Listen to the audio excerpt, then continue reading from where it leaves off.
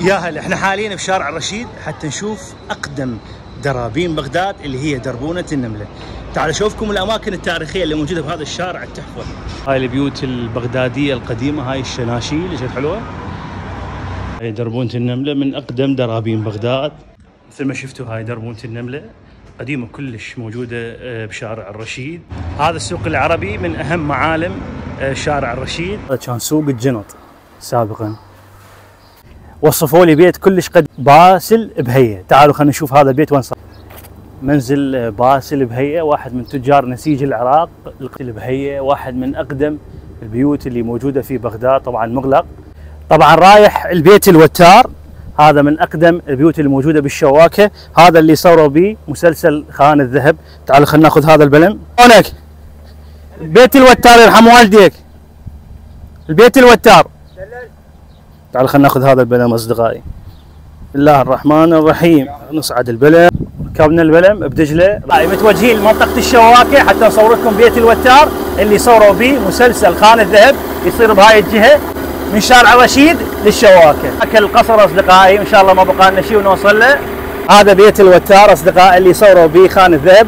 من أقدم بيوتات بغداد اللي موجودة بالشواكة واحد من أجمل البيوتات البغدادية القديمة. هذا بيت الوتار من أقدم البيوتات اللي موجودة بالشواكة. شوفوا الشبابيك إيش قد حلوة؟ بعدها على قدمها والباب. شوفوا المقبض مالتها. شوفوا المقبض مالتها إيش قد حلو. هذا هنا موجود. آه، فد نبذة تاريخية عنه. هذا البيت التحفه شوف الشبابيك شوف البيبان شوف التخم إيش قد حلو. هاي النافورة اللي كانت تتوصب مثل ما إحنا نسميه الحوش. ما شاء الله. شوف الدنق. شغلات أنتيكات تحفة. شوف. ميز كلش حلو. زين. هذا ميز مال طعام. تعالوا خلينا نصعد للطابق الثاني ونشوف تفاصيل هذا القصر التحفة. هذا الطابق الثاني أصدقائي. شوفوا ما شاء الله.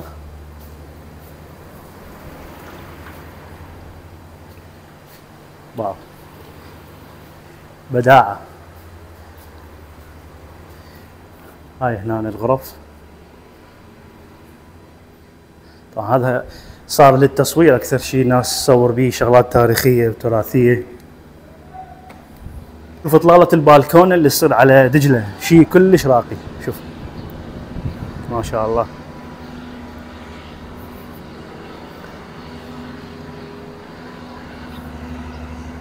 هاي دجلة.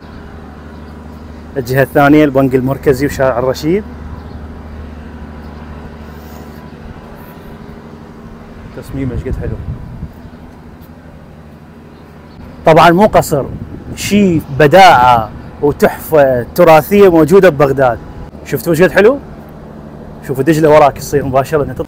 طبعا هذا من أجمل القصور بصراحة اللي موجودة في بغداد وحقيقة ما شايف أنا قبل مثله بتصميمه وبطرازه. شوفوا شوفوا هذا الطابق الثاني شيء حلو. الله واقرف به.